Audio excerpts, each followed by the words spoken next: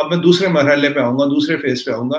पर एक यहाँ जब मैं कुछ लोगों से बात करता हूँ, कुछ फौज के भी अफसर हैं, कुछ पॉलिटिक्स में कुछ डिप्लोमेट्स हैं तो उनका, वो बहुत घबराए हुए आरज़ू जी। कहते हैं, भाई, ये तूफ़ान से पहले की खामोशी तो नहीं है? क्योंकि, भाई, ये मतलब ये पाकिस्तान अचानक सीज फायर के लिए कह रहा भाई हमें सीज फायर करना है। तो अगर आप सीज फायर छोड़ दोगे तो आतंकवादी इन्फिल्ट्रेट कैसे करोगे? दूसरी बात, अब अगला यहाँ तो लोग ये भी कह रहे हैं, भाई, तैयार रहिए, अगला कहीं आतंकवादी हमला होने वाला है।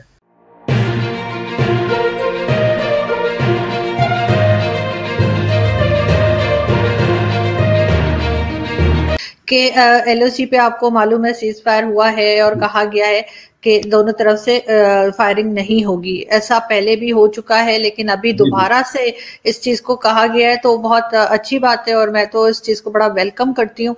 लेकिन आप क्या समझते हैं कि अगर हम कंपेयर करें इंडियन गवर्नमेंट्स को जो अभी है या जो पहले थी कांग्रेस की या पाकिस्तान में जो गवर्नमेंट अभी है या जो पहले गवर्नमेंट थी कि इनमें से आप किसको समझते हैं कि कौन सी गवर्नमेंट्स ऐसी हैं जिन्होंने इस इस चीज़ को लेके आगे बढ़ी कि सीज फायर होना चाहिए और आपस में इस तरह से बिला वजह इधर उधर आपको पता है फायरिंग होती है और फिर लोग जो हैं जो वहाँ पे रहते हैं स्पेशली जो कि ना तो सोल्जर्स होते हैं ना कुछ। तो लेकिन उनके घर है वहाँ पे। उनको जो है वो इंजर्ड भी हो जाते हैं बहुत दफ़ा डेथ्स भी होती हैं। तो उनके लिए एक अच्छा अच्छी खबर है कि इस तरह की फायरिंग नहीं होगी। लेकिन आप क्या समझते हैं कि कौन सी गवर्नमेंट्स ने बेहतर काम किया या काम करने की कोशिश की? देखिए आजू जी, सबसे पहले तो मैं आपको ये बोलूँगा, आपने बहुत बेहतरीन सवाल पूछा और ये सवाल बहुत कॉम्प्लिकेटेड है। कारण क्या है कि जो सीज फायर एग्रीमेंट हुआ था 2003 से 2006 तक तो वाजपेयी जी थे और यहाँ मुशरफ साहब थे।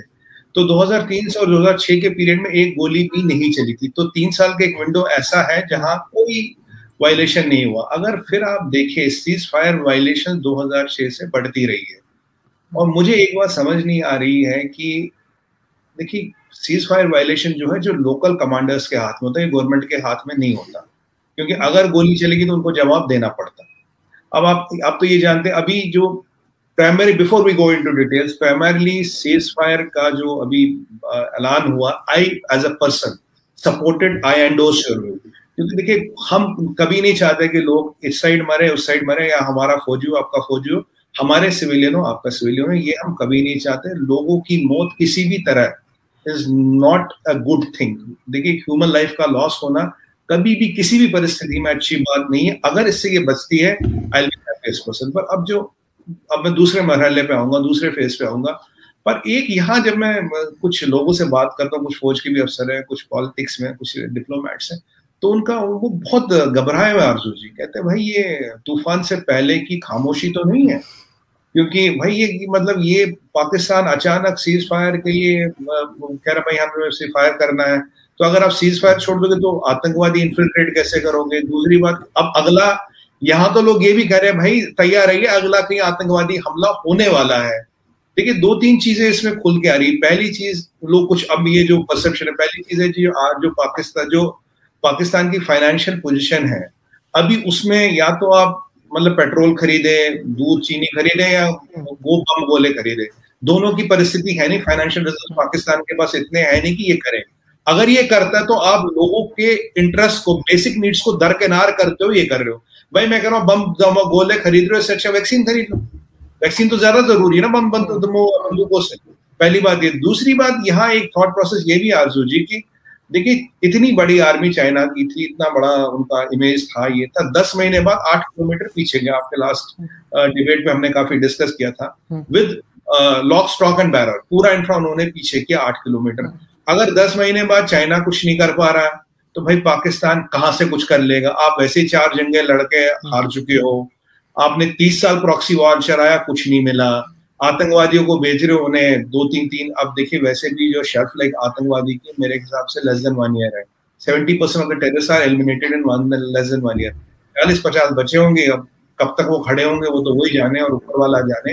बट इस, ये जो मॉडल है, ये कॉन्सेप्चुअली फेल हो चुका। अगर ये मॉडल फेल हो चुका तो अब मुझे बताइए, सरहद पे ये बम बंदूकें चलाने का पॉइंट क्या, मिला मिला कैसे? जब चाइना को एक ज़मीन नहीं मिली तो आपको क्या मिलेगा? एक ये मॉडल है। तीसरा मॉडल जो हमारे यहाँ भी एक अप्रेंशन है वो ये है कि भाई ये कहीं वहाँ चाइना पीछे चला गया यहाँ पाकिस्तान पीछे चला गया कि कुछ बड़े खिचड़ी तो नहीं बन रही है कि कोई बड़ा धमाका होने की अंदेशा आज अच्छा सोचिए सर अच्छा सोचिए बुरा क्यों सोच रहे हैं? मैं तो अच्छा सोच रहा हूँ पर ऐसा भी एक ये जो है ना यहाँ पे एक थॉट प्रोसेस है कि भाई दोनों पीछे चले गए। देखिए अब आपको एक आंकड़ा दूँगा। आपके अस्कर्डू एयरबेस पे 40 से 50 चाइनीज़ जेट्स हैं। क्या वो वहाँ है या गए मुझे नहीं पता। देखिए मैं मिलिट्री एक्सपोर्ट तो हूँ नहीं कि जो मुझे सैटेलाइट हाँ। इमेजरी मिल रही है। जो पर एक बहुत पॉजिटिव चीज़ इसमें आई है जनरल नरवाने ने बोला कि even in this Chinese conflict Pakistan ने बॉर्डर के आसपास जमावड़ा नहीं लगाया। आर्मी का कंसंट्रेशन नहीं हुआ है ये खुद नरवाने साहब कहते हैं। तो इसको मैं पॉजिटिव स्टेप मानूँगा पर साइड में एक और बड़ा गंभीर आंकड़ा है मेरे पास जिसको मैं जिसको मैं समझ नहीं पा रहा हूँ। पिछले साल मतलब मैं 20 की बात नहीं कर रहा हूँ उससे पहले साल करीब 540 या 550 सीज फायर वायलेशन हुई। जब चाइना एल पे आया था आरज़ू जी, चार हज़ार छह सौ पैंतालीस सीज फायर वायलेशन डन में Pakistan which is almost ten to eleven times ये क्यों हुआ? इस पे क्यों किया गया? अब चाइना हट रहा है। अब देखिए, जब चाइना एल पे था तो जो पाकिस्तान की तरफ़ से सीज फायर वायलेशन है ऑल टाइम हाई है। ग्यारह गुना ज़्यादा है। इलेवन टाइम्स मोर और I can say five hundred one thousand percent more मतलब परसेंटेज या गुणा में देखे, जैसे इसको देखना चाहें, कहा पहले 550 थी? तीन साल ऐसे के कोई नहीं था। फिर उससे पुराना साल 19 की बात करें 500 साढ़े पाँच सौ। अब इस 10 महीने में चार हज़ार छह सौ पैंतालीस। अब चाइना आरज़ू जी पीछे जाता तो पाकिस्तान कहता, जी हम ये वाइल ये हम सीज फायर करेंगे। अब कुछ अटकलें ये भी लगाई जा रही कि डोवाल साहब, यूसुफ साहब से मिले थे जो आपके एनएसए पर उन्होंने ट्विटर पे बोल दिया, नहीं जी, मेरे से किसी थर्ड कंट्री में बात नहीं हुई थी, कुछ अटकलें ये भी है। अब ये ये कम्प्लेक्स इसको अगर मैं आइसोलेशन में देखूँ प्रेसिडेंस में देखूँ हाँ ये संभव है, अच्छी बात है, होनी चाहिए। आई कंप्लीटली एंडोस मैं आपका समर्थन करता हूँ। बट अब मैं इसको चाइना के साथ मिला के देखूँ तो एक दूसरा थॉट प्रोसेस आता है। तो अब ये, और हमें ये भी पता कि आपकी हुकूमत की आर्मी पे तो चलती नहीं है आर्मी वाले वही करेंगे जो उनके मन में होगा। अब नियाजी साहब कुछ भी बोलते रहे, वो तो बोलते रह जाएँगे, भाई, उनको तो वही करना जो करना है। अब आर्मी का कमर्शियल इंटरेस्ट कहाँ है? अब देखिए, फौजी तंजीम आपका दस परसेंट जीडीपी कंट्रोल करती है। ये भी कोई छुपी बात है नहीं, मैं तो वही कह रहा हूँ पब्लिक डोमेन में बातें हैं। तो अब इन सब चीज़ों को देखा जाए, अचानक क्या हो गया? अब जो जो जो डीजीएमओ लेवल पे जो, देखिए ऑलरेडी मेजर लेवल पे हॉटलाइन होती है, ठीक है जी? फिर ब्रिगेडियर लेवल पे होती है। फिर अगर ज़रूरत पड़े तो डीजीएमओ लेवल पे भी हॉटलाइन एस्टेब्लिश की गई और ये मैकेनिज्म पिछले तीस साल से अप्लीकेबल है। अगर तीस साल से एप्लीकेबल है, चार हज़ार छह सौ पैंतालीस सीजफायर वायलेशन क्यों हुए? ये मुझे समझ नहीं आ रहा। चाइना पीछे जाता, अब आप पीछे जाते हैं। मैं यही ईश्वर से प्रार्थना करूँगा मंशा अच्छी हो पीस रहे ट्रैंकुलिटी रहे। But madam honestly speaking as a Indian और एज अ पोलिटिकल एनालिस्ट और commentator I have my doubts मेरा डाउट इस पे है। मैं तो ये कहता हूँ पिक्चर इतनी क्लियर नहीं है। ये मतलब मुझे जो क्लाइमेक्स से पहले एकदम प्लॉट नीचे आता ना फिर एकदम क्लाइमेक्स आता वो तो वो कहीं वो वाली बात ना हो। आई होप सर वो वाली बात तो इंडिया की तरफ़ से भी हो सकती है ना और दूसरा जो आप वायलेशन की बात कर रहे हैं तो वो तो आ, दोनों तरफ़ से हुई है ना सिर्फ़ पाकिस्तान की तरफ़ से नहीं है। दोनों तरफ़ से एक ऐसा नहीं हो सकता कि सिर्फ़ पाकिस्तान करता जा रहा है करता जा रहा है आप लोग बैठे हुए हैं और देख रहे हैं। ऐसा नहीं होता। दोनों दोनों तरफ़ से शरारत दोनों तरफ़ से होती है मैं हमेशा कहती हूँ कि ये एक का काम नहीं है दोनों मिलके शरारत करते हैं लेकिन बात वही है कि ऐसा नहीं है कि चाइना पीछे चला गया तो पाकिस्तान ने कब क्या करें पाकिस्तान भी बैठ गया। चाइना जो पीछे गया है वो भी इतने टाइम के बाद तो आप लोगों के साथ कोई ना कोई बात हुई होगी। दूसरा इस तरह की चीज़ें सर जो चलती हैं वो तो आपको खुद पता है कि जो बैकडोर डिप्लोमेसी कहलाती है और इस तरह से तो वो तो बातचीत चल रही होती है और ये इस वक्त ये भी सुनने में आ रहा है कि मोदी जी पहले ही दस चीज़ों में फंसे हुए कहीं फार्मर प्रोटेस्ट है कहीं कुछ अभी बंगाल का अभी वो जो चल रहा है आपका इलेक्शन उसमें भी कुछ खास अच्छी न्यूज़ नहीं है। मोदी सरकार के लिए तो हो सकता है कि वो चाह रहे हो कि चलो इधर से तो सुकून करूँ फिर ताकि पहले कंट्री में अंदर क्या हो रहा है वो सेट कर लिया जाए और सेम यही चीज़ इमरान खान साहब के साथ है कि कभी वो अपोजिशन उनके लिए खड़ी हो जाती है कभी सेनेट का इलेक्शन उनको प्रॉब्लम कर रहा है तो वो भी हो सकता है चाह रहे हो कि बॉर्डर को थोड़ा सा पीसफुली रहने दिया जाए ताकि पहले कंट्री में जो इश्यूज़ हैं उसको सॉल्व करें। आपको नहीं लगता इस तरह की कोई बात हो सकती है? देखिए Adu ji peace is welcome peace होनी चाहिए रहनी चाहिए। बट मैं ये नहीं मानता कि जो इंडिया की जो एक्सटर्नल अफेयर्स मिनिस्ट्री है या जो डिफेंस मिनिस्ट्री है वो होम मिनिस्ट्री से ऑर्डर लेती है।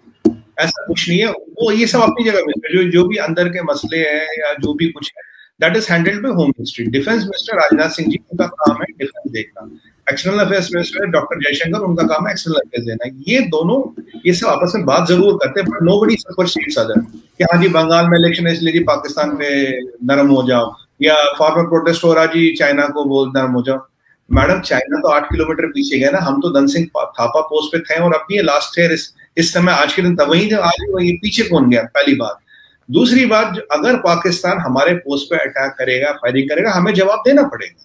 बट सबसे इंपॉर्टेंट चीज़ होती है सीज फायर को, अगर आप इसको स्टडी करें हु स्टार्टेड दिस 4645 का आंकड़ा है where Pakistan has broken the cease fire it is but national Indian army has to retaliate वो तो उनका काम है तो रिटेलिएट करेंगे। उसमें मेरे कहने से, वहाँ फिर वो लोकल कमांडर लेवल पे बातचीत आ जाती है। मेरे किसी के कहने से वो नहीं रुकेंगे। बंगाल की, जहाँ तक आपने बात की, देखिए, बंगाल में जो हमारा इलेक्शन है इम्पोर्टेंट है बट अगर आप जन सहलाव देखें, हज़ारों लोग, लाखों लोग कोरोना के होते हुए रैलियों में आ रहे हैं। अगर आप देखें, जो बंगाल में जो परिस्थिति बन रही है, ममता जी जो है हमारी, ममता दीदी वो काफ़ी घबराई हुई है। दर्जन, आप तो आप तो जी, आप तो खुद मीडिया वाले आप तो देखो, अगर किसी के सौ, डेढ़ सौ लोग भाग गए उनका अपने भाई कहते हैं। ममता जी के ममता दीदी के अपने भाई कहते हैं, भाई, ये वंशवाद हटना चाहिए डेवलपमेंट आनी चाहिए। और मोदी जी का जो डेवलपमेंट का ट्रैक रिकॉर्ड और एजेंडा वो ऑल टाइम हाई है। आप देखिए कितने लोग उनकी मीटिंगों में आ रहे कितने अमित शाह जी वहाँ बैठे हैं, नड्डा साहब वहाँ बैठे हैं।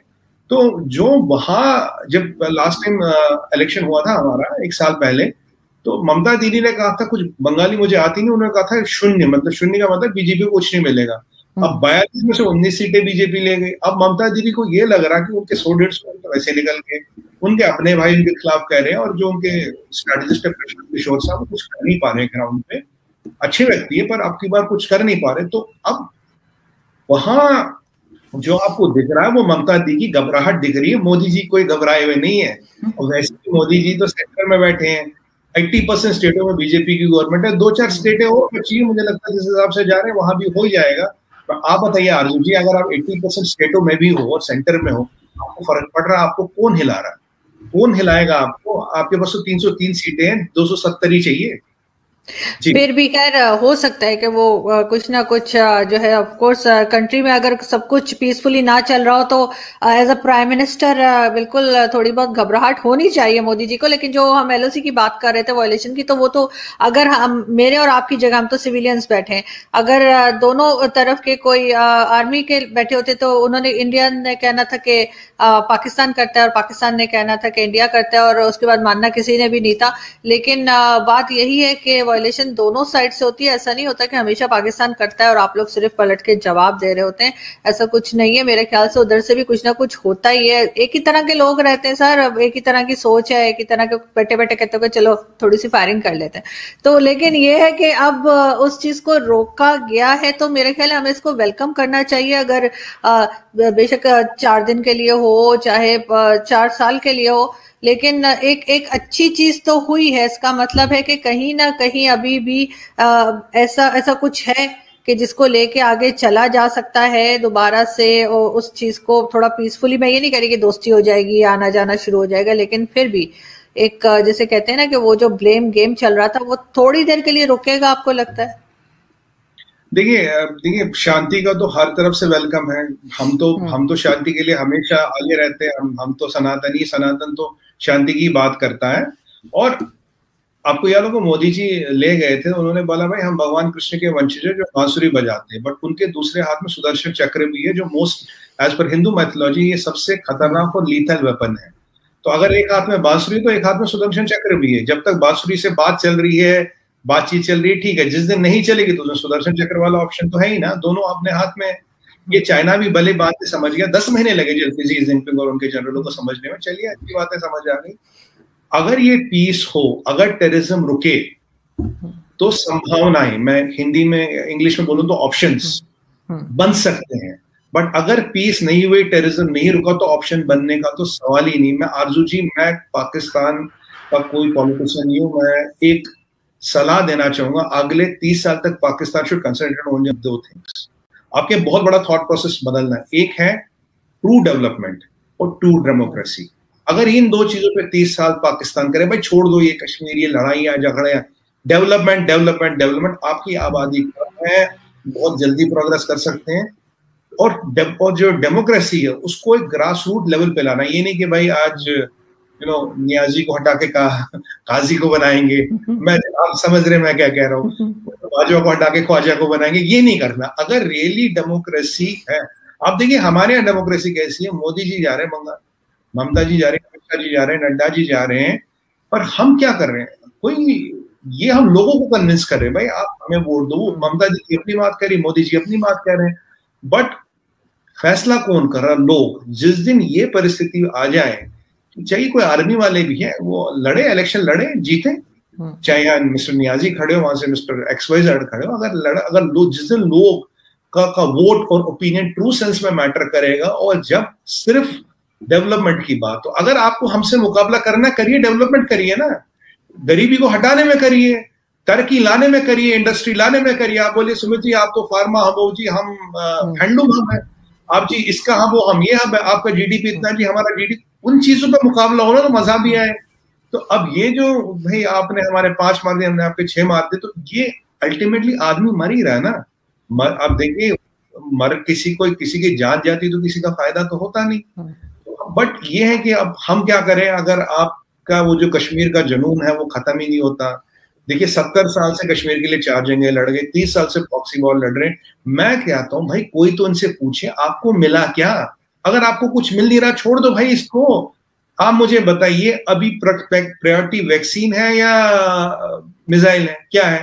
हाँ। अभी आरपीजी खरीदा जाए या पीपी खरीदा जाए? अभी हम बंदूक खरीदे या अभी हम अपना मेडिकल बजट बनाए? किसको बढ़ाए? हाइपर इन्फ्लेशन की परिस्थिति है पाकिस्तान में आपको पता है चौतीस परसेंट फ़ूड इन्फ्लेशन है सत्रह परसेंट इन्फ्लेशन है।